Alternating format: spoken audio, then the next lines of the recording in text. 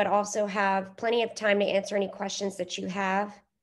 So the presentation this evening is pretty brief with um, really prioritizing questions. I'm already really proud of how many people are on the call. Thank you so much um, because this is so important.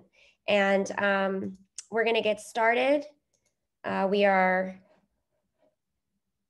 here tonight to go over um, how we are going to approach making sure that incompletes from last year, trimester three, are resolved such that students earn credit and exemptions. Um, if you have not chatted in your full name and the name of your student, please do that uh, privately to Mr. Bowerly. Again, I'm the principal, Ms. Keene, and Mr. Bowerly is here. He supervises grades 11 and 12. And I do believe we also have our uh, new assistant principal, Mr. Ogle, who supports uh, the social emotional side of our work and supervises our counselors, et cetera. Um, so today we're just going to quickly review the actual policy for T3 end of term in case you forgot from last year. Um, we're going to go over the timeline as it stands now. We're going to talk about some supports that we've put in place um, and our approach to resolving these incompletes. And then you're going to have an opportunity to ask questions. At any point while you are watching this presentation, you should go ahead and just chat questions directly to Mr. Bowerly so that you don't forget them. I encourage you to do that. As a question comes up, just go ahead and chat it to him directly. And, um, and then when we get to the Q&A, he's just gonna go through the questions, anything that we can answer. So just to review, this is the policy from last year, trimester three. And just to preview what's coming, this is the same policy that we'll be using um, as an end of term policy for this current trimester. So if your student ends up with any failing grades, trimester one, it's going to be the same thing. So basically, um, we don't want student GPAs and transcripts to be disrupted as a result of the crisis that we find ourselves. Um, and as a result, as I, as I know that you know, a lot of flexibility has been given um, our policy mirrors the DOE um, very closely. And so if a student's final grade would damage their GPA in any way, they receive a P if it's above 60, uh, if it's 65 or above, okay, they get a P, a P for pass. If their, um, their passing grade would not damage their GPA, right, um, then they're gonna get that numerical value. And so you guys don't have to make any decisions about this. We do all the math and it ends up, uh, you know, protecting the trajectory that our artist scholars are on. And nobody deserves to have their post secondary future or their high school career severely disrupted as a result of this. We still need students to do the very best that they can. Um, but this passing policy prevents um, a grade like a 68 or a 70 from really uh, negatively impacting a student who's worked really hard, um, perhaps has experienced hardships, as we all have during this time. Every single person's experienced hardship. So that's why this policy is in place. And again, it mirrors almost uh, exactly the DOE and what they're doing.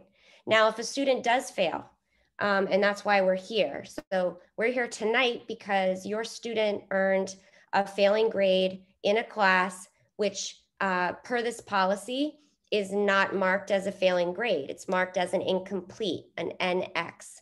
NX stands for incomplete.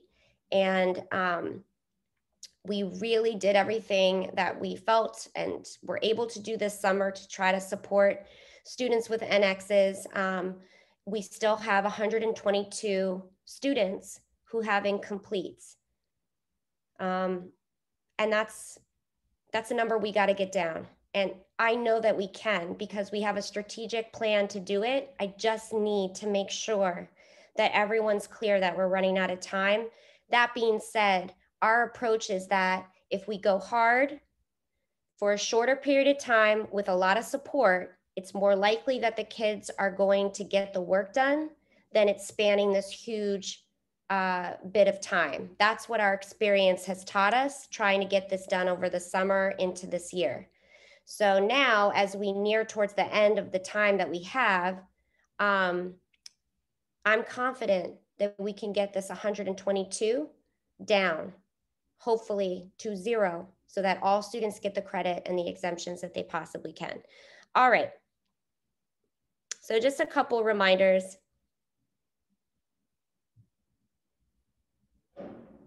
Um, students, this is really important. I'm going to talk directly to you right now because I see a lot of you are on here. Okay. When your teachers tell you that you need to complete work, um, and when you're emailed what you need to complete, just remember this is about getting to the passing threshold and stopping there. I need you focusing on your current work in trimester two.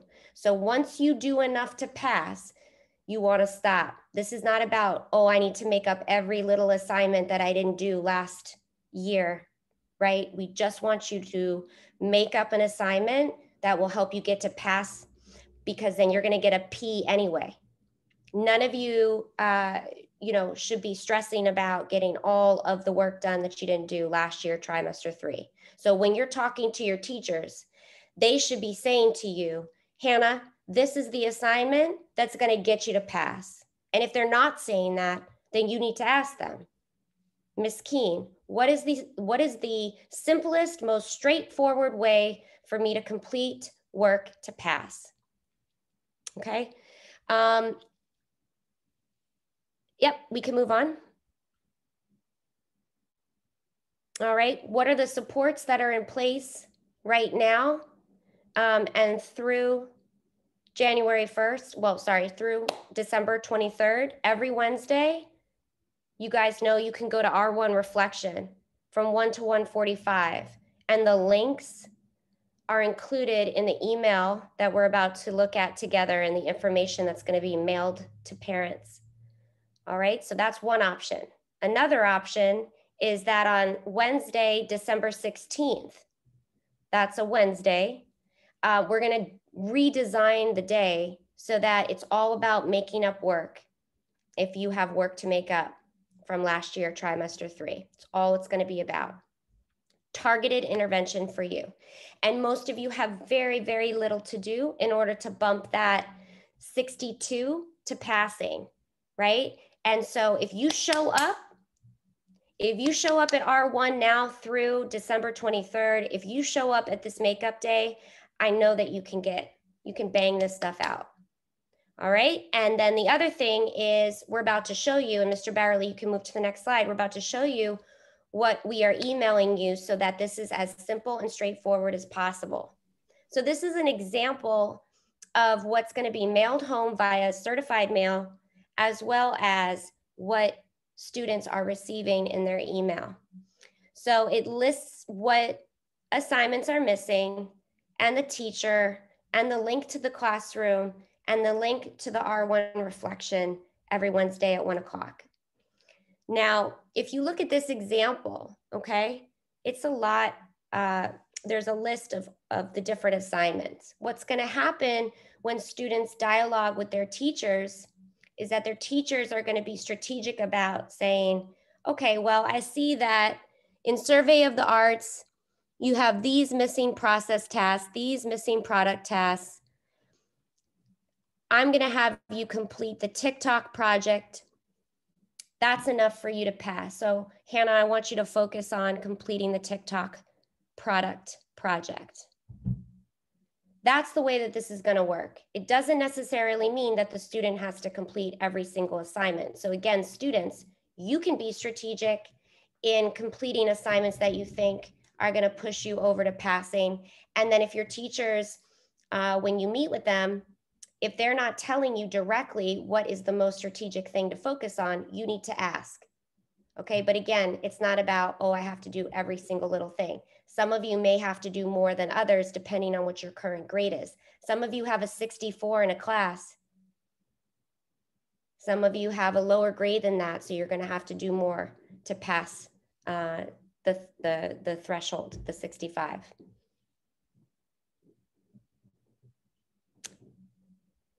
So what we're trying to achieve here, and absolutely can, again, if you show up at R1, if you take this um, makeup day seriously, and if you communicate with your teachers, um, you can get whatever you need to get done by Wednesday, December 23rd, which would be ideal because then you can have a chill holiday break, which you deserve.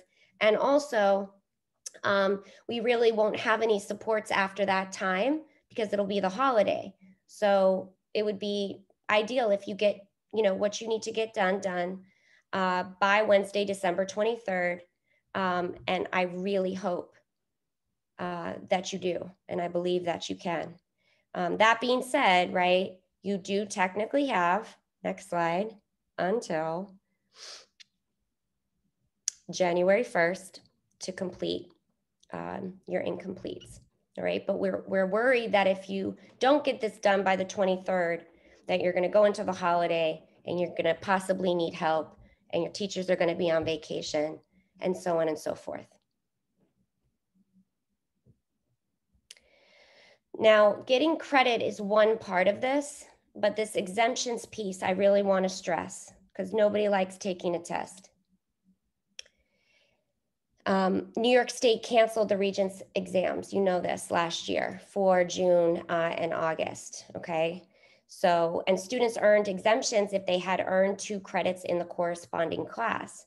An exemption on their transcript shows up as an E, which is equivalent to a 65 on the exam.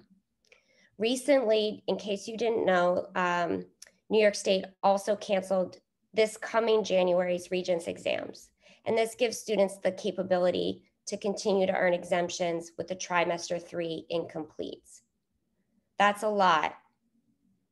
Okay, but basically, what I want you to get from that is again, why is this so important? Because students still have the opportunity to receive an exemption uh, on a Regents exam, which means students, if you get an exemption, what that word means is you don't have to take the Regents.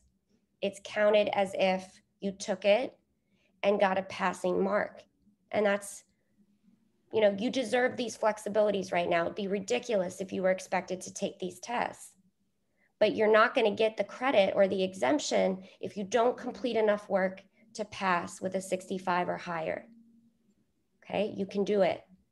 Go to R1, contact your teachers, and remember, Mr. Barley, myself, Mr. Ogle, anyone on the leadership team, if you're ever asking for help and you're not getting an answer, you need to tell us right away so that we can help make sure that an email didn't get lost or something like that.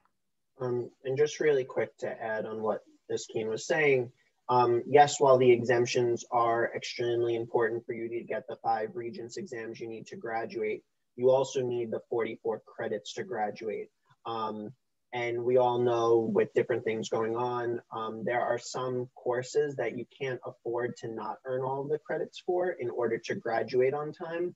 That right now, having the chance to still make up these incompletes gives you that opportunity to get all of the credits you need to graduate. And um, for those of uh, the students that weren't promoted to the next grade level because they didn't have the credits in time, you earning these credits will be able to get you promoted faster to the next grade level. So at the end of the term, um, let's say you have only had 20 credits and you need 22 to be promoted to 11th grade. If you earn those two additional credits from the incompletes, you can be promoted mid-year to the next grade level. Um, so that is another important part, um, especially for juniors and seniors. Every single credit matters. Um, and then the other thing that I just wanted to point out for students that don't make up the work for um, the incompletes, what will happen is all of those NXs will change on students' transcripts to NCs, meaning no credit. So it doesn't mean that they just disappear from a student's transcript. It just gets reported um, that the student earns no credit for the class, which means they didn't complete the work for the class.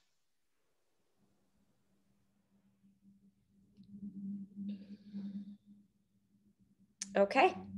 So, uh, Mr. Barley, can you just be clear about when did you email the students the information? Um, so the last time students were emailed the information is October 28th, but I will be emailing them again once after this meeting. Um, so that actually was one of the questions. So every single student will get a table like this in their email. Um, obviously, the courses and the assignments will be different for each student, um, but they will get the individual information that they need with the link to R1 Reflection, the link to the Google Classrooms. So we're not sending the students the actual links to the assignments, but we're sending them the names to the assignments and where to find the assignments. Um, so that is the main point to uh, know. But at the end of this meeting, we will reshare all of those emails um, to students, so it will be fresh in their email um, box. And as Ms. Keene said, we will also be mailing them home, so parents are aware of all of the assignments that students need to have completed as well. Okay, and if I was a caregiver, I would. So, Mr. Barrowly, when exactly are you are you going to send them right after this meeting or tomorrow morning? Uh, for to students. Mm -hmm. Students will be sent directly after this meeting. It's all set up that once I hit end on this meeting, they will be emailed out. And then on Monday, um, we will be mailing the letters home to parents. Yeah, so if I was a caregiver, I would, um, after this meeting, have my, my student, you know, let me know when they get that email. And um, I recommend students, you forward the email to your parents uh, unfortunately, there is a law that um, prevents us from um, emailing parents directly this information. Um, but parents can absolutely have their student forward the email to their email. And then again, we're going to mail this directly to you on Monday. Other questions, you can start chatting them. Um, one of the questions is this addressing June 2020 or the current school year? This is talking about last um, spring from when we first went to remote trimester through any incomplete um, that the student has.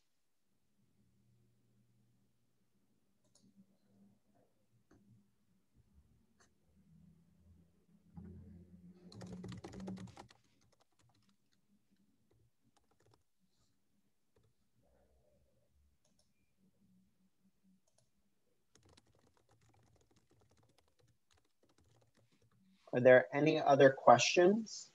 Um, what I will say is if for some reason you um, think of a question later on or your child doesn't get the email um, or you have any other concerns about graduation progress, things like that, um, this is my email address and this is my cell phone number. If you want to take it down, um, I will also put it in the chat.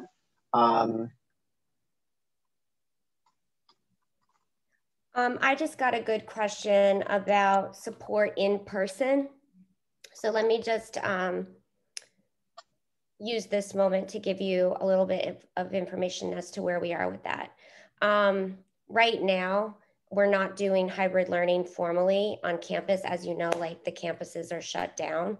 And the earliest that we would start a hybrid model where students are coming for, for in-person support is um, January 19th. And I'll let you know uh, by the 4th. That being said, we have staff that are doing um, modified home visit type situations, um, checking in in person.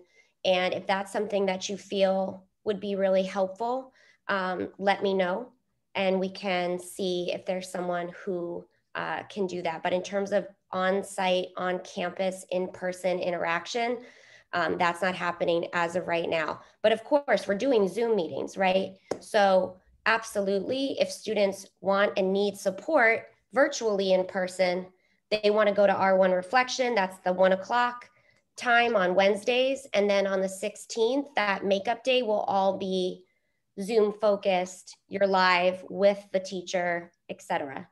Um, I hope that that's helpful. All right, guys, um, we're going to stay on. I'm going to stay on. If you feel like you just want to chat after everybody leaves, feel free to stay. Listen, we can do this, but it is going to take some real um, attention to getting it done. And I really know that we can. Most of the kids, the biggest, the biggest misunderstanding is this idea that I have to get all of these things done.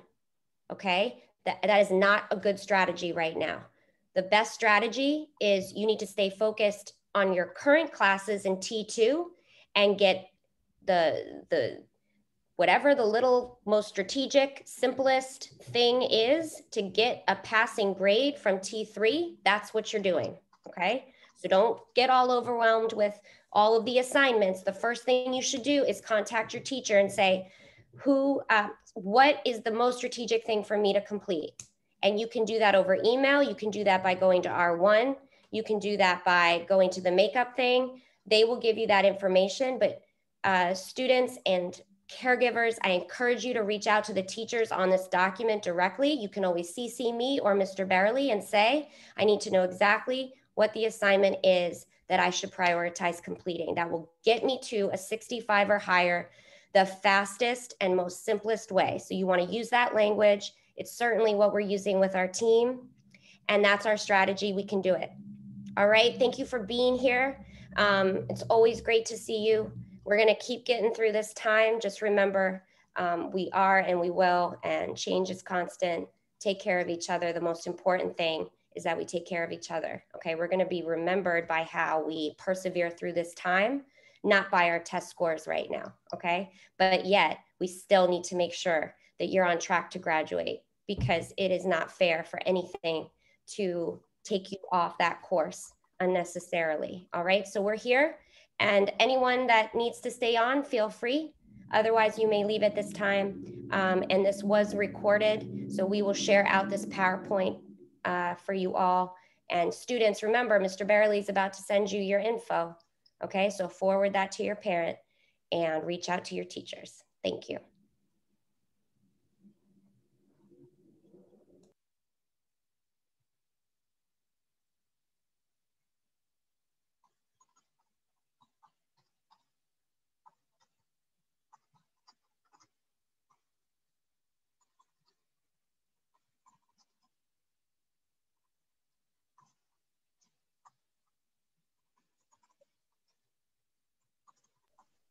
Students too, feel free to chat. Uh, feel free to chat us um, if there are any students that have questions about how this is going to work.